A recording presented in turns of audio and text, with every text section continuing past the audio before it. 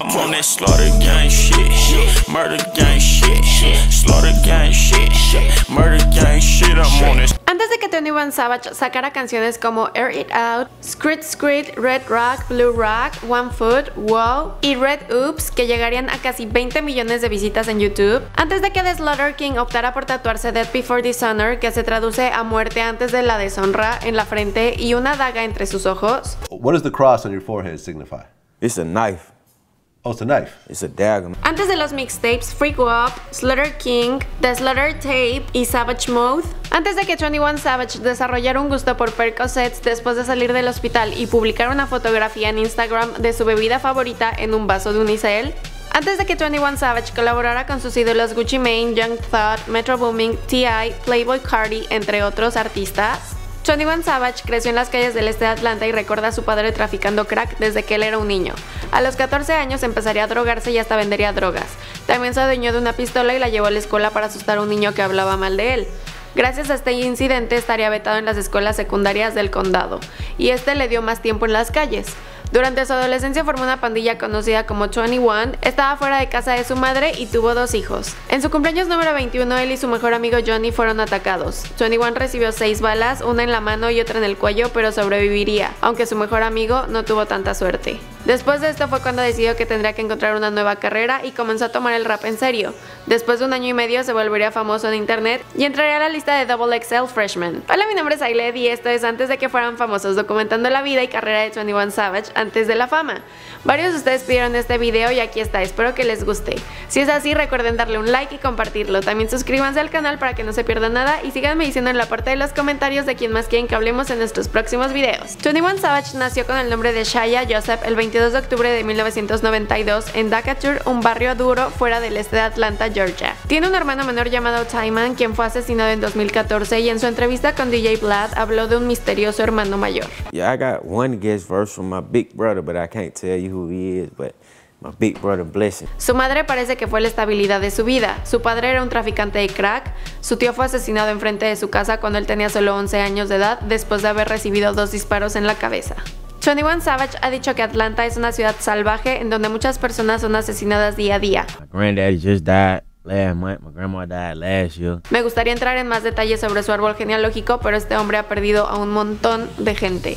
Man, my little brother Tay, man, Johnny, Larry, Mika, TJ, sheesh, Nino, V, Renzo, Jin Jin, Lope. Man, I didn't, bro, I done lost like many people. Shaya creció escuchando a sus ídolos Gucci Mane, Lotto Savage, Freaky D, SMG. Sus álbumes favoritos incluyen Me, My Mama and Them Roaches, Leap from the Carter, Gucci Mane East Atlanta 6 y su favorito de todos es Gucci Sun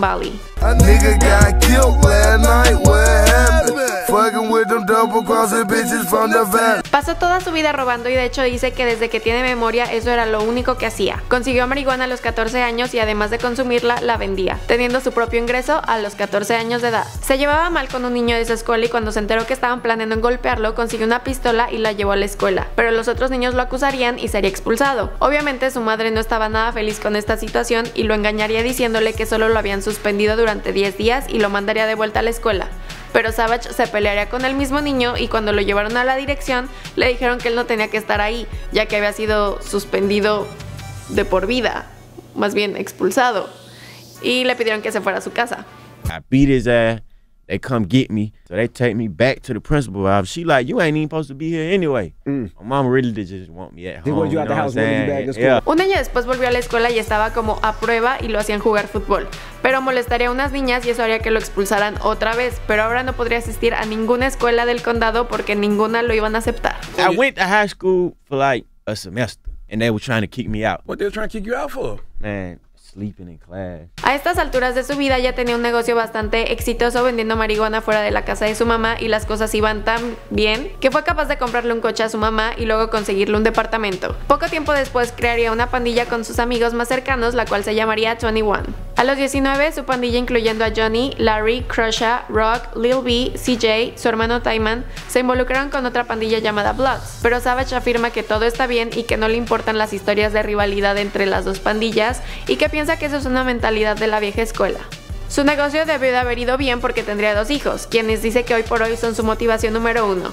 Había hecho un poco de rap e hizo una canción con su hermano y hasta compró una computadora y un micrófono para poder grabar más. El logo de su pandilla era una daga y habían planeado en tatuárselo entre el pulgar y el dedo índice como Tony Montana en Scarface.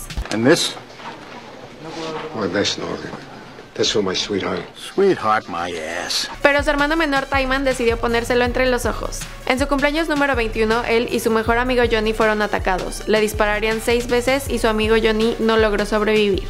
Shaya tenía muchas cosas que pensar mientras se recuperaba en el hospital. Durante esta recuperación se volvería adicto al Percocets, analgésico que no ha podido dejar del todo.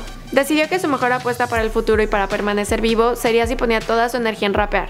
Algunas cosas cambiaron ya que Savage había adoptado el apodo de Savage cuando creó su cuenta de Instagram. 21 Savage se puso a trabajar, tenía algo de dinero, lo que le daba tiempo, pero no tenía ni una disquera, ni equipo de marketing o de promoción, y pues solo decidió que era momento de trabajar muy fuerte.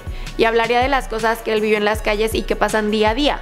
De pronto, una tragedia lo golpeó de nuevo. Su hermano menor Taiman fue asesinado el 19 de marzo de 2014. Savage aún no se había tatuado la daga que habían prometido, así es que se la tatuó en la frente en honor a su hermano. El himno de trap como Picky, la canción producida por DJ Plug, pronto se convertiría en un clásico sumamente famoso entre los locales de Atlanta, gracias a la energía de la canción. The Slaughter Tape fue lanzado en 2015, seguido por Freak Up, Slaughter King y luego se conectó con Metro Booming para Savage Mob. El plan de 21 Savage es volverse millonario para mejorar la vida de las personas a su alrededor y sus familias, y poder mejorar la calidad de vida de las personas de su vecindario. Y el resto de la historia, bueno, ustedes ya conocen el resto porque esto fue antes de que fueran famosos.